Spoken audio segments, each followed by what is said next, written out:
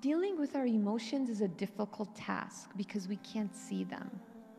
And so the Prophet ﷺ taught us the beautiful dua that we should say when things are difficult, which is Allahumma la sahla illa ma ja'altahu sahla wa anta taj'al al-hazna idha shi'ta sahla. Right? Oh Allah, there is no ease except that which you make easy. And that which you made easy will become easy if you wish. So make my affairs easy.